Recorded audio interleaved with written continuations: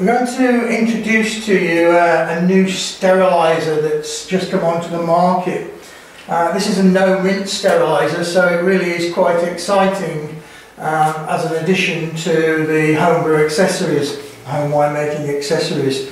Most of the sterilisers that are on the market are powerful sterilisers and cleaners. Uh, Harris SteriClean and VWP are two of the most popular uh, proprietary sterilisers on the market. But most of those sterilisers, although they do a very effective job, have the slight disadvantage that if you do get them onto your clothes, they are a bleaching agent, they will take the colour very quickly out of the clothes. Um, and you have to be very careful around children uh, because they are, they are poisonous. So they, those two sterilisers are very similar to brewery sterilisers, pipe cleaners. Um, so they, they're used in a wide range of applications, but you do need to be very careful with them. Um, what we have here is a new steriliser on the market. It's very, very effective. It's been produced by Harris Products and um, the benefit of it is that it will sterilise all of your equipment and more uh, and it will clean as well but at the same time any steriliser that's left after one hour of contact with water is completely neutralised. So there are no health hazards assigned to this, this product at all. So I'll now show you how to mix a batch of steriliser. It really is very easy to do. There's a reclosable seal on the pack so you can put away anything that you don't use.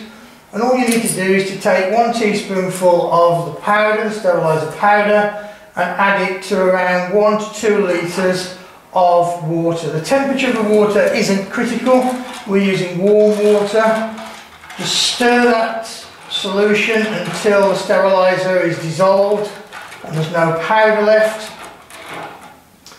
And then that is ready to use. You need to use it fairly immediately because after one hour that solution will be neutralised. There'll be nothing left of it. That's the beauty of it. So we're going to sterilise a Kilner jar ready to make some damson gin. So we'll just pour the steriliser into the jar. This was a bucket or a fermenter, a carboy. You could do exactly the same thing, pour solution in. It's a contact steriliser, so as soon as it touches any surface that's ready to use, ready to, it's sterile.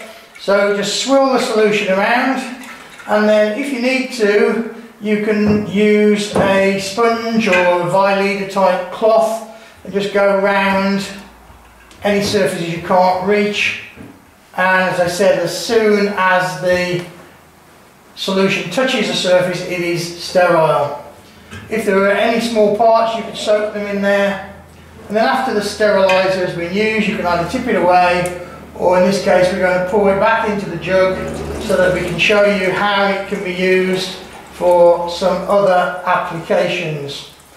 And it's up to you now, you can give that, that piece of equipment a little rinse under the tap if you feel you need to, but as I said, after one hour, it's all gone anyway, so that jar now is, is ready to use.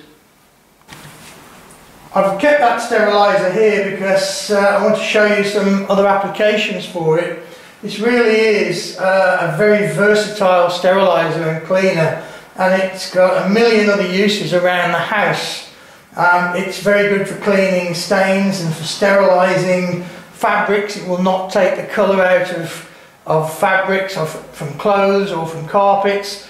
So if you had a spillage on carpets or if anyone was sick, you can actually put the solution onto the, the surface to sterilise it, clean it up, and it won't affect the colour of the uh, of the clothes or the fabric.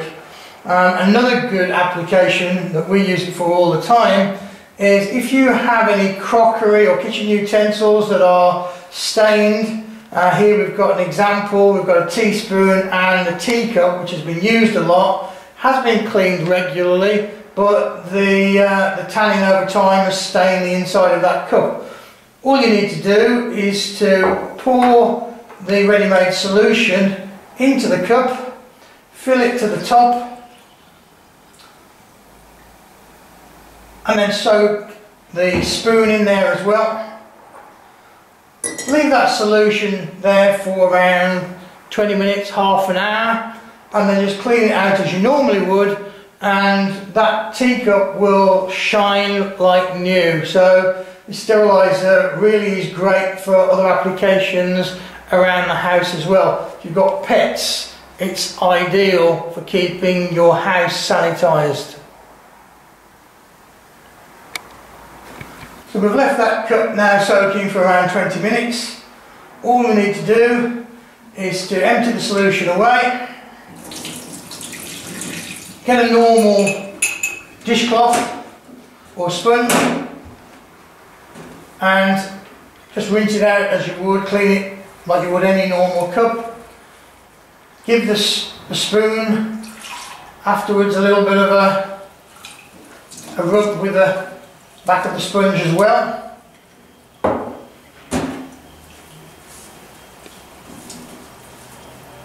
Just rinse them both off. And if you have a look there, you can see that both the spoon and the cup now look like they did when they were brand new. So really is a very, very versatile steriliser and cleaner and it's got a lot of applications around the house outside of home brewing but we're marketing it as a home beer and winemaking sterilizer it's very effective doesn't have some of the hazards that other sterilizers have um, and we envisage that this is going to be a very very popular product